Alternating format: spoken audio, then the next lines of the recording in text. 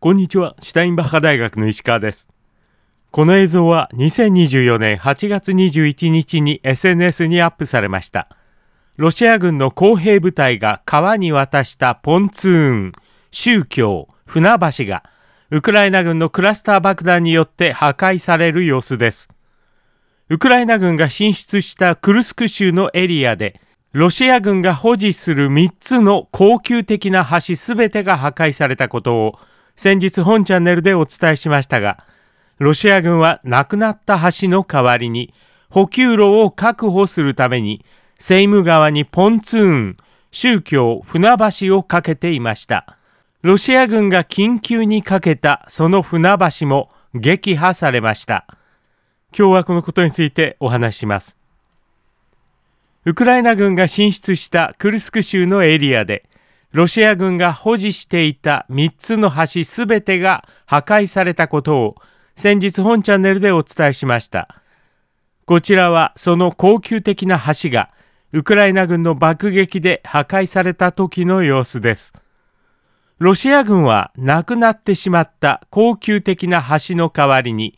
戦闘地域への補給路を確保するために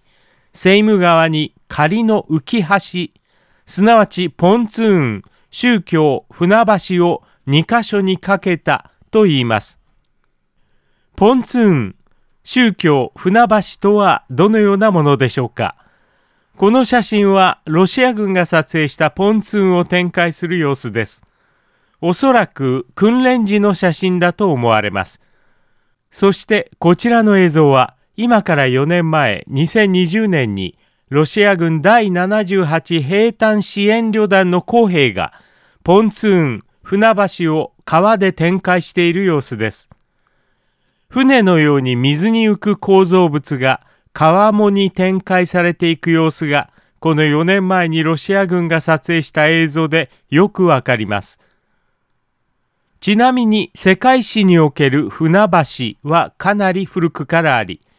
紀元前493年にはペルシア皇帝ダレイオスの下でギリシャ人義士がボスポラス海峡に架けたという船橋の逸話が伝わっています。話をクルスクに戻します。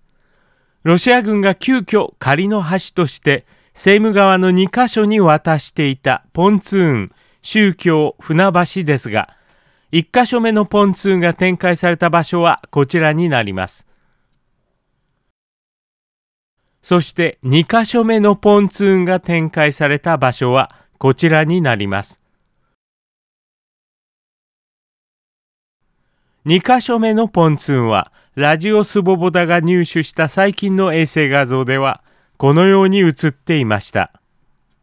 ロシア軍がポンツーンをかけたのでロシア軍の補給がなくなったわけではない、とロシアの軍事特派員もテレグラムで報じていました。しかし、ウクライナ軍はロシア軍の船橋を見逃しませんでした。ウクライナ軍の偵察ドローンは、ロシア軍がポンツーンを展開している様子を、その上空から撮影していました。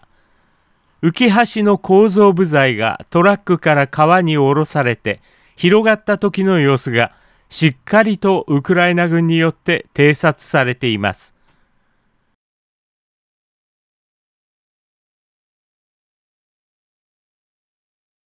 そして早速ロシア軍のポンツーンはウクライナ軍の爆撃で破壊されました。ちなみにこのポンツーンの破壊映像を見ると、師団、小弾が後半に散らばって爆発するクラスター爆弾を使っているようです。SNS では高機動ロケット砲ハイマースが使われたようだという推測が多く上がっています。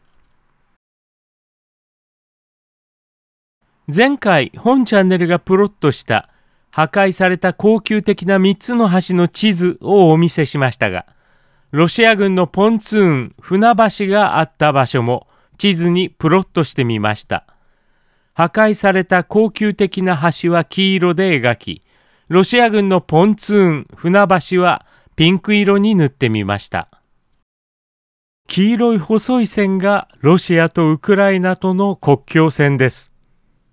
戦闘地域に近いクルスク州グルシコボ近辺で高級的な橋すべてと、それに代わるポンツーン、船橋も破壊されたことで、セイム川の南側に残されたロシア軍部隊の補給がほぼ完全に断たれています。クルスク地方スジャの近辺では、ロシア兵3000人がウクライナ軍によって包囲されたようだという情報も出ています。補給が断たれたことで、今後数日でさらにロシア兵が白旗を上げて大量に投降してくるのではないかという観測予想も出ています。今日はここまでにします。最後までご視聴ありがとうございました。チャンネル登録といいねボタンもお願いいたします。それではまた。